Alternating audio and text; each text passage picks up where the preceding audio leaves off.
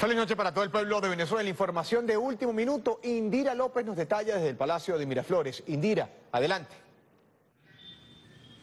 Así es, gracias Barry por este contacto informativo que lo establecemos a esta hora desde el Palacio de Miraflores cuando culmina la reunión diaria de la Comisión Presidencial para la Atención, Prevención y Control del COVID-19 y el parte lo ofrece la Vicepresidenta Ejecutiva de la República, doctora Delcy Rodríguez Gómez. Escuchemos. Bueno, muy buenas noches para toda Venezuela. Voy a retirarme con el permiso de la audiencia el tapabocas tan necesario. Siempre hacemos la promoción de la efectividad de la mascarilla para prevenir cualquier forma de contagio del COVID-19. Muy necesario. Si recordamos al inicio de esta pandemia en el mundo se dieron muchas discusiones sobre la efectividad o no del tapaboca. Y hoy, cuatro, cinco, seis meses más tarde, sabemos que es un instrumento muy necesario y muy efectivo para evitar el contagio del COVID-19. Bueno, hoy Día Nacional del Periodista. Felicitamos a todos los comunicadores, a quienes a través de su palabra, de la verdad, defienden el derecho a la información veraz y oportuna de nuestra población. una felicitación muy especial a todos los comunicadores sociales en su día. Hemos estado aquí reunidos, como todos los días, haciendo seguimiento de los casos, haciendo seguimiento de los protocolos de tratamiento, de los casos recuperados. Bueno, siempre el presidente Nicolás Maduro muy pendiente de saber caso por caso. Hoy preguntaba, ¿no? ¿Cuántos casos tenemos en situación crítica? ¿Cuántos en situación moderada? cuántos se han recuperado. Hoy se han recuperado más de 300 pacientes del COVID-19. Y estamos justamente ya por culminar esta semana de cuarentena radical en la fórmula venezolana del 7 más 7. Haremos importantes anuncios en los siguientes minutos, pero debemos también agradecer lo que ha sido el comportamiento de nuestra población, quien con su conciencia, con la sabiduría popular ha sabido controlar en esta semana, atender las medidas de aislamiento social, con algunas excepciones, bueno, que lamentablemente rompieron con el esquema de la cuarentena, pero en general nuestro pueblo ha sido muy disciplinado en el respeto y en la atención de las medidas.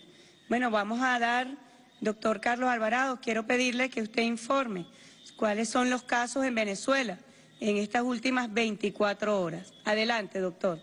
Gracias, vicepresidenta.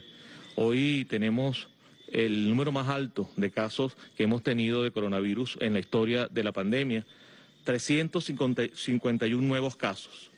De estos 351 nuevos casos, 249 son de transmisión comunitaria, 101 101 casos importados y un caso por contacto con viajero internacional. Con estos estamos llegando a 5.130 casos confirmados en nuestro país. Estos casos están ubicados en 14 estados. 143 en el Zulia, 65 en Miranda, 35 en Bolívar, 34 en Distrito Capital, 25 en Sucre, 15 en Monagas, 11 en Mérida, 7 en Trujillo, 4 en Nueva Esparta, 3 en Apure, 3 en Aragua, 3 en Yaracuy, dos en Anzuategui y uno en Lara. De todos estos casos, los 249 casos de transmisión comunitarias, 142 son del Estado Zulia. De estos 142 del Estado Zulia, 120 están vinculados directamente al casco central de Maracaibo y al mercado de las pulgas. Y 22 casos de Zulia están en municipios foráneos a, Maracaibo, pero que tienen que ver con el, negocio y el, tránsito con el mercado de las pulgas y el foco del casco central, en Cabimas, Lagunillas, Machiques y Santa Rita. Tenemos 19 casos del estado Miranda. De estos 19 casos de Miranda, 17 son trabajadores y trabajadoras de un supermercado del municipio Baruta. Eh, el supermercado donde tenemos un foco ya plenamente identificado, el automercado fue cerrado, todo el personal que está allí trabajando fue pesquisado, está aislado, los que dieron positivo están recibiendo tratamiento y se está en la búsqueda activa de los contactos. También tenemos un hombre de 59 años que está ingresado en una clínica del municipio de Oruta, aunque reside en el Distrito Capital, con una ira moderada y una mujer de 47 años de Latillo, que también está hospitalizada en una clínica privada con una ira leve. 11 casos del Estado Mérida. De estos 11 casos del Estado Mérida, Soyo, 6 son del municipio Alberto Adrián y del Vigía, vinculados a casos de contactos positivos en ese mismo municipio. Dos, del municipio Caracciolo Parra, uno de ellos está en ira grave, está en terapia intensiva. Uno del municipio Sucre, en, en Lagunillas, un comerciante que viaja frecuentemente al estado Zulia uno del municipio Mocotíes, perdón, del municipio Sea, Mocotíes, contacto de caso positivo, y uno de Santos Marquina, Tabay, también contacto con caso positivo. 19 casos del Estado Bolívar, 18 de ellos del municipio Gran Sabana, Santa Elena de Guairén, captados en jornada de despistaje masivo en ese, en esa, eh, este, en ese municipio. Y uno del municipio Caroní, que se captó en una consulta de triaje de un centro centinela. Luego tenemos 34 casos del Distrito Capital, un número muy importante, procedentes de 13 parroquias. 7 de La Vega, 6 de Sucre, 4 del 23 de enero, 3 del Paraíso, 2 del Valle, 2 del Recreo, 2 de Antímano, 2 de San Juan, 2 de San José, 1 de Santa Rosalía, 1 de La Candelaria, 1 de San Agustín y 1 de Coche. 18 de estos casos se captaron en consultas respiratorias de los triajes de los hospitales Centinelas de Caracas, seis en la búsqueda de contacto con casos positivos y diez casos en jornadas de despistaje masivos comunitarios e institucionales. Luego tenemos 14 casos del Estado Sucre. Estos 14 casos todos están vinculados a una empresa de pescado en un foco que tenemos allí en Cumaná, en de, varias, de diferentes parroquias de Cumaná. También eh, todos, los trabajadores y trabajadoras de esta empresa fueron debidamente pesquisados, los que dieron positivos están aislados y recibiendo tratamiento. Tres casos del estado de Yaracuy, dos de San Felipe, en despistaje casa a casa, uno del municipio Brusual, eh, captado en un hospital Centinela, actualmente también está en ira grave, en terapia intensiva, y tres casos del estado Trujillo, dos del municipio Urdaneta, parroquia Jajó, una enfermera que atendió a uno de los pacientes positivos de ese municipio y la hija de esta enfermera. Están los dos positivos para COVID. Un caso del municipio Pampán, donde también tenemos casos, comerciante que viaja frecuentemente al estado Zulia. Dos casos del estado Monagas, del municipio Maturín, un caso del estado Lara, captado en despistaje institucional personal de salud, y un caso del estado Anzuategui en el municipio eh, Bolívar, Simón Bolívar, captado en la consulta de Hospital Centinela. Estos son los casos comunitarios, pero además tenemos 101 casos importados. De estos 101 casos importados, 82 proceden de Colombia, 16 de Brasil, 3 de Ecuador.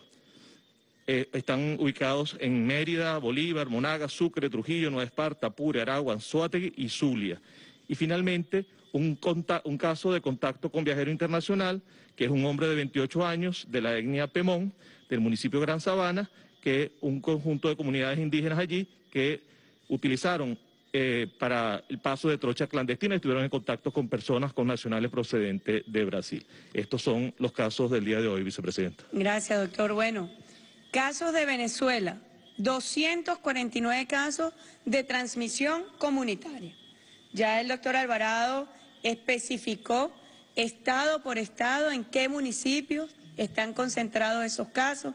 En el caso del distrito capital, aquí está el jefe del distrito capital y la alcaldesa del municipio bolivariano Libertador, donde justamente tenemos el día de hoy 34 casos comunitarios en nueve parroquias de Caracas. Está circulando el virus y por eso, bueno, haremos anuncios sobre la evaluación que hemos venido haciendo en cuanto a la fórmula del 7 más 7 en Venezuela. Ya lo dijo el doctor Alvarado, 249 casos de transmisión comunitaria. Luego tenemos 82 casos de Colombia, el vector Colombia, el coronavirus de Colombia, que está impulsando casos comunitarios en Venezuela. 16 casos del coronavirus en Brasil, también impactando en la situación de la pandemia en Venezuela. Son los dos principales vectores que impactan e impulsan la aparición y la circulación del coronavirus en Venezuela. Desde los primeros momentos lo veníamos advirtiendo, la amenaza que significaban Colombia, y Brasil, países vecinos de nuestra patria, por bueno, la situación irresponsable del manejo en estos países que ha llevado a que hoy sea epicentro de la pandemia mundial, esté en Sudamérica. El cuarto epicentro mundial está en Sudamérica, concentrado principalmente en Brasil. Bueno, y allí Perú, Ecuador, Chile, Colombia, aquí está. Brasil es el número dos en el mundo. Perú el número siete. Chile el número ocho. Colombia el número 21. Ecuador el número 28. Y cuando vemos los casos que ha mencionado el doctor Alvarado y nosotros sabíamos que podíamos enfrentarnos a esta amenaza, hoy en Venezuela hay que decir, hay que informar, hay un brote del coronavirus. Y ese brote ha sido la consecuencia de estos casos impulsados desde Colombia, desde Brasil, de connacionales que están volviendo a nuestra patria y lamentablemente, bueno, fueron contagiados en estos países de donde venían.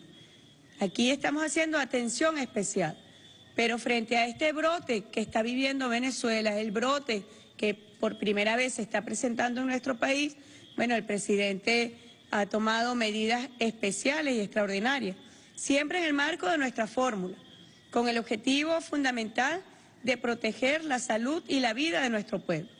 Nos ha pedido dedicarnos en exclusividad a la protección de la salud de nuestro pueblo. Le ha pedido a los gobernadores, a las gobernadores, alcaldes, alcaldesas, al gobierno nacional, concentrar nuestra agenda de gestión en la protección de la salud del pueblo. Todas estas jornadas que estamos llevando adelante de desinfección, de atención de la seguridad, de las medidas de la cuarentena, en la Unión Cívico-Militar Policial, para garantizar la protección y principalmente para cortar cadenas de contagio. Hoy en nuestro país hay más de 14 mil equipos de salud desplegados en el territorio nacional y principalmente donde hay ocurrencia de casos activos, allí vamos con los equipos de salud a hacer el despistaje masivo, personalizado, pero atendiendo donde hay casos, bueno, allí llegamos con la batería de pruebas. Fíjense, ya hoy tenemos 1.219.651 pruebas, lo que da y representa 40.655 pruebas por millón de habitantes. La metodología venezolana, despistaje, el despistaje, ir a la búsqueda de los casos y donde sabemos que hay un caso activo, allí buscamos más profundamente. Y bueno, tenemos 14.000 desplegados, 14.000 equipos de salud desplegados en todo el país. En el estado Zulia tenemos además un programa de atención especial ya hablaremos también de este tema. Bueno, además de los casos de Venezuela registrados en estas últimas 24 horas, los casos de Colombia, de Brasil, tenemos también tres casos de Ecuador y, como lo dijo el doctor Alvarado, un caso de contacto con viajero internacional. Son 102 casos importados, pero cuando revisamos los casos activos de Venezuela, sabemos que la mayoría se deriva de casos importados, casos importados. Ese es el impacto que han tenido estos dos países y la situación irregular de desbordamiento que se vive en sus sistemas de salud por no atender, por no creer que la pandemia es letal, por no creer que la pandemia del COVID-19 es contagiosa altamente, bueno, por asumirla como una simple gripe han colocado un riesgo sanitario y epidemiológico a toda Sudamérica. Nos hemos visto afectados por estos gobiernos irresponsables que no atienden ni cuidan ni la salud de sus pueblos ni la salud regional. Son una verdadera amenaza para nuestra región y así se está evidenciando. Bueno, además, debemos lamentablemente informar que tenemos un fallecido hoy, del Estado Mérida, un médico. En nombre del presidente Nicolás Maduro, rendimos un especial homenaje a este profesional de la salud que con sus 73 años estaba en la primera fila de combate contra el COVID-19, atendiendo, curando pacientes del COVID-19 en el estado Mérida y fue contagiado con uno de los contactos de el vigía que era un caso positivo por COVID-19. Nuestro reconocimiento, nuestra admiración por este médico que, bueno, murió en combate, en combate contra el COVID-19. Y con su ejemplo, para todo el personal de salud que hoy en nuestra patria está batallando y desprendiéndose humanamente de sí mismo para ir a salvar la vida del prójimo, para ir a atender la salud del hermano, de la hermana. En él reconocemos la labor de los médicos de nuestra patria, de las médicas, de los enfermeros, de los bionalistas, de todos los profesionales de la salud que están allí atendiendo a todos los pacientes con COVID-19. Bueno, lamentablemente era un médico pediatra, tenía otras enfermedades de base, hipertenso, asmático. Comenzó síntomas el 12 de junio y, bueno, fue ingresado en un hospital Centinela. Allí estuvo en cuidados intensivos y lamentándolo mucho, el 26 hizo un paro cardiorrespiratorio y bueno, tenemos esta, este lamentable fallecimiento. Nuestras condolencias a sus familiares, a sus deudos, a sus amigos. Sabemos que su ejemplo siembra camino para seguir en este combate contra el COVID-19 en nuestra patria y sirva su ejemplo para animar la moral de todos los profesionales de la salud que están allí, en batalla también. Y nuestra admiración y nuestro homenaje por siempre. Bueno, ya esta es la situación en las últimas 24 horas del COVID-19 en Venezuela. Tenemos importantes anuncios que hacer también. Ustedes saben, como lo ha denunciado el presidente Nicolás Maduro, que las trochas se han convertido en el paso informal, sin ningún tipo de control sanitario ni epidemiológico, por el cual bandas organizadas criminales de Colombia, paramilitares colombianos, bandas de narcotraficantes colombianos se han dedicado a pasar con nacionales por estas trochas informales. El presidente de la República dio responsabilidad especial al Comando Estratégico Operacional, al almirante en jefe Remigio Ceballos, al mayor general Reverol, vicepresidente de Servicios y Obras Públicas, a nuestra Fuerza Armada Nacional Bolivariana, al ministro general en jefe Padrino López, tomar acciones especiales. Y ha decidido crear las zonas estratégicas de defensa integral temporales especiales. Vamos a iniciar con estas zonas de defensa especial por el estado Táchira, por el estado Zulia, para atender esta situación irregular que está enfermando a nuestro pueblo, que está impulsando el crecimiento de casos por COVID-19 en Venezuela. Yo quiero pedirle al almirante en jefe que dé más detalles sobre esta decisión que ha tomado el presidente Nicolás Maduro de estas zonas operativas de defensa integral temporales especiales. Muchas gracias, vicepresidenta. Con el fin de que el Estado venezolano contribuya a garantizar la salud del pueblo como política integral fundamental. Nosotros, luego de los análisis, la orden de nuestro comandante jefe, todos estos análisis y diagnósticos nos han llevado a la creación de las zonas operativas de defensa integral temporales especiales. Inicialmente vamos a comenzar en el municipio Mara y el municipio Guajira. Ahí se va a establecer la zona operativa de defensa integral temporal Urdaneta 1 y también en los Andes en el Táchira, la zona operativa Rondón 1.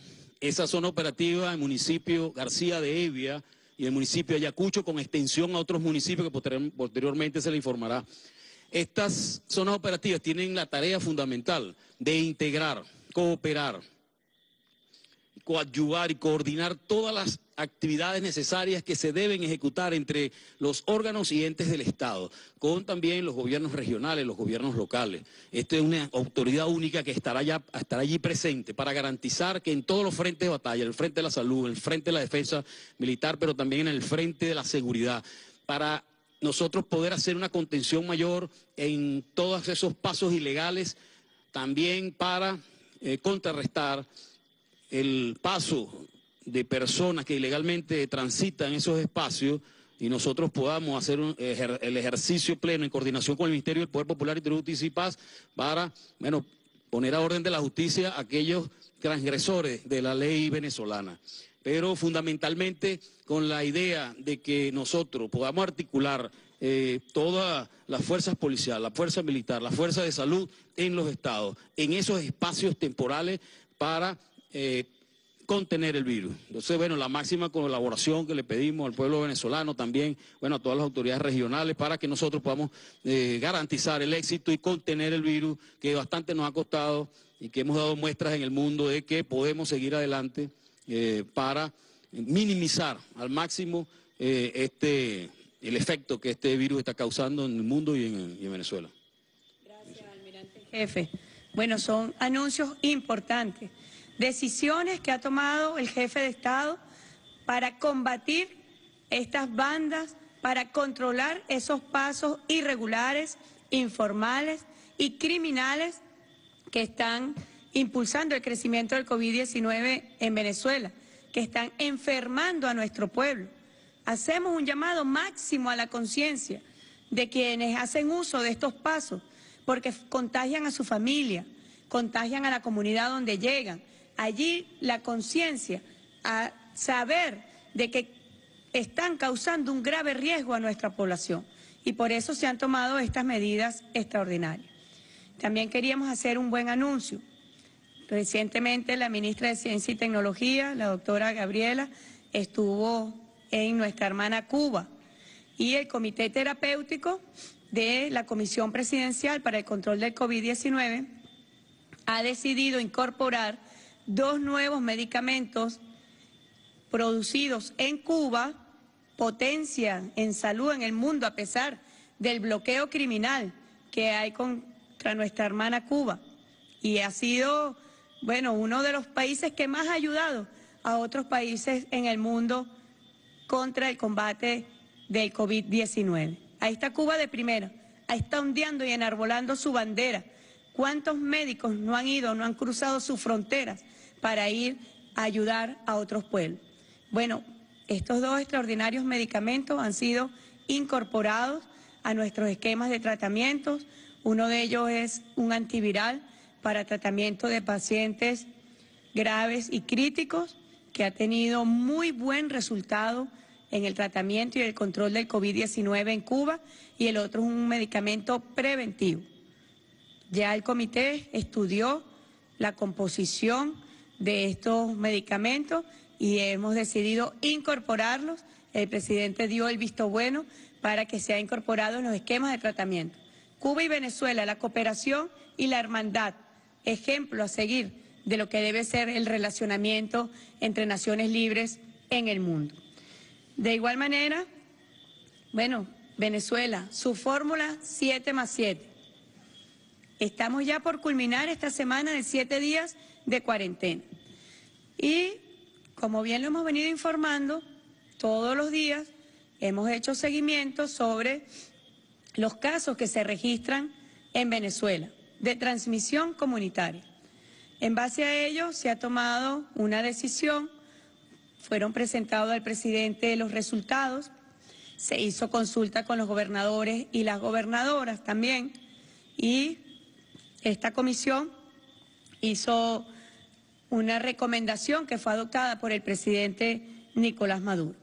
Este lunes 29 de junio inicia la semana que corresponde de flexibilización, donde todos los sectores que se habían incorporado a la vida económica nacional retoman sus actividades en el esquema de siete días de cuarentena y siete días de flexibilización. ¿Cuáles eran esos sectores? Voy a recordarlos. el sector construcción, ferreterías, industria materia química, de materia prima química, el transporte, las agencias bancarias, las peluquerías, talleres mecánicos y autopartes, consultorios médicos y odontológicos, industria textil y del calzado, servicios personalizados, autolavados, ópticas, reparaciones electrónicas, papelerías y librerías, heladerías y cafeterías, pero solo bajo el esquema de para llevar, llamado también el delivery, lavanderías y tintorerías, centros comerciales, fabricación de electrodomésticos, servicios de encomienda, comercialización del sector textil y calzado, registros y notarías, eventos deportivos sin público y gimnasios, atención veterinaria y autocine. Estos eran los sectores que habían participado del esquema de flexibilización en la fórmula venezolana del 7 más 7. Sin embargo, hay algunos estados que se van a mantener en cuarentena.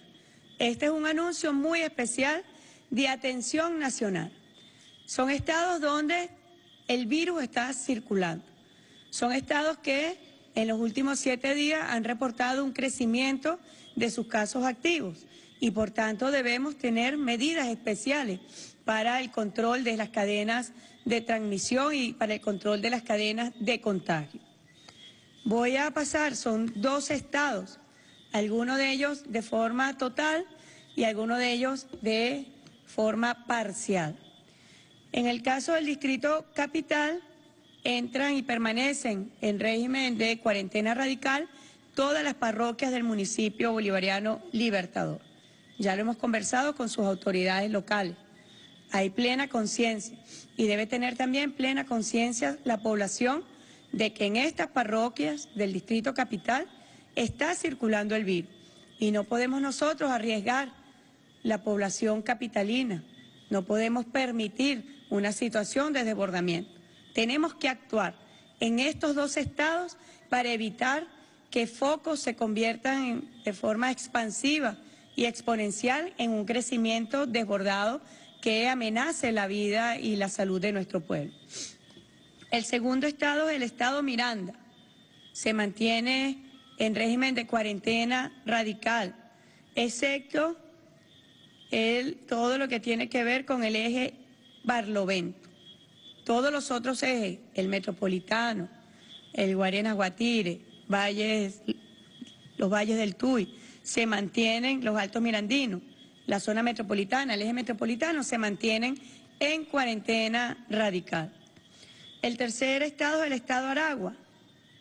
Se mantienen en cuarentena los municipios Girardot, es decir, Maracay, Turmero, Palo Negro, La Victoria, San Mateo, Cagua y Villa de Cura. El resto de los municipios pueden mantenerse en flexibilización en la fórmula del 7 más 7. El cuarto estado es el estado Carabobo, donde Mariara y Tocuyito se permanecen en cuarentena y el resto de los municipios en flexibilización. Fíjense que hemos sido muy cuidadosos de estudiar municipio por municipio para no afectar municipios que, bueno, han mantenido sus medidas de prevención, han respetado las cuarentenas, han respetado los protocolos de seguridad sanitaria y bueno, en esos casos, municipios que no tienen casos activos o sus casos activos son pequeños, se permite la flexibilización.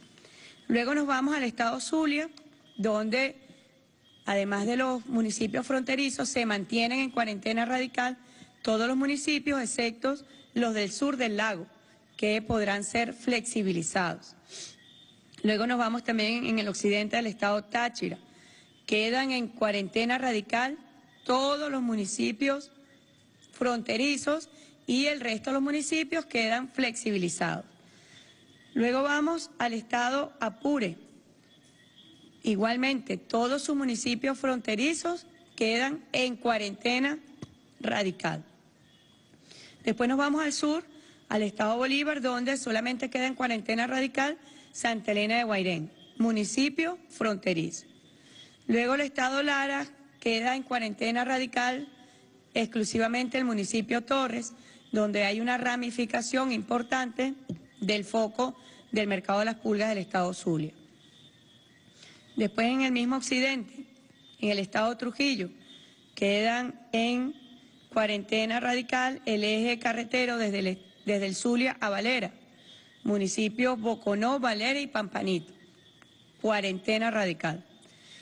Luego, en Mérida, el estado Mérida, entra en cuarentena radical o permanece en cuarentena radical el Vigía, donde está este foco importante, que se derivó por dos vías, uno por el mercado de la pulga, el estado Zulia, y el otro por el paso informal de trochas desde Colombia. Y por último, el estado Sucre tiene la aparición de un foco que estamos controlando en el municipio Sucre, en Cumaná. Todos estos sitios quedan en cuarentena radical, con barreras especiales de contención, como se ha vivido estos últimos seis días, pero además va a tener atención especial en salud.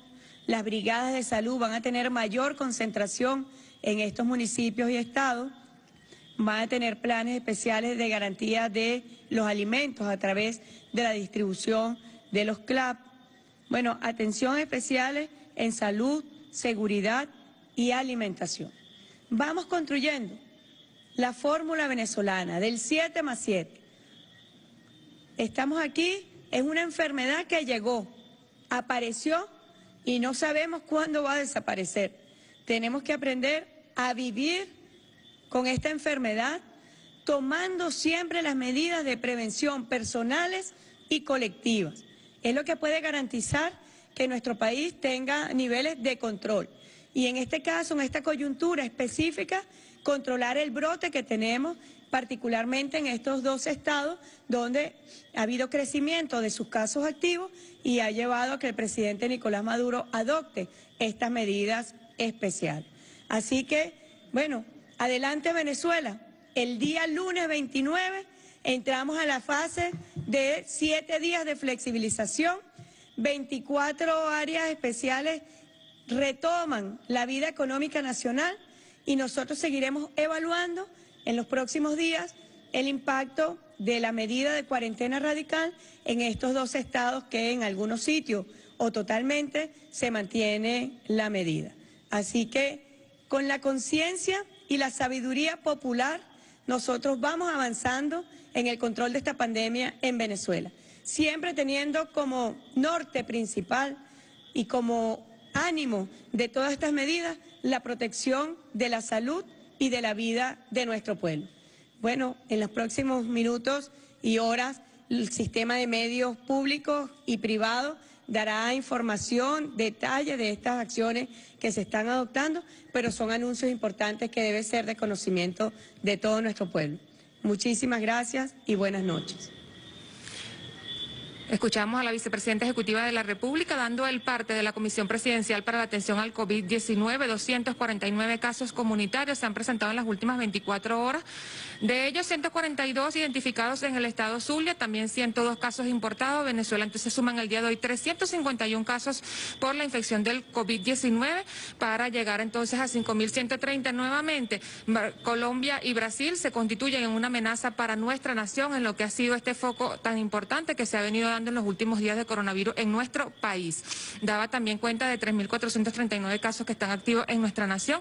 Y anuncios importantes, a partir del día lunes 29 de junio, los 24 sectores productivos que se han venido sumando al plan 7 más 7 en lo que ha sido la flexibilización de los sectores productivos para dinamizar tanto el parte de servicios como también el sector productivo y económico de nuestro país se ponen entonces en marcha y un anuncio también de relevancia y de importancia ha sido el cuidado de nuestras fronteras con la eh, implementación de estas zonas operativas especiales integrales para la defensa de nuestros espacios y sobre todo para eh, evitar el paso de personas que no hayan cumplido el protocolo nacional de atención al COVID-19. Con esta información vamos a devolver el pase al estudio. Adelante importante.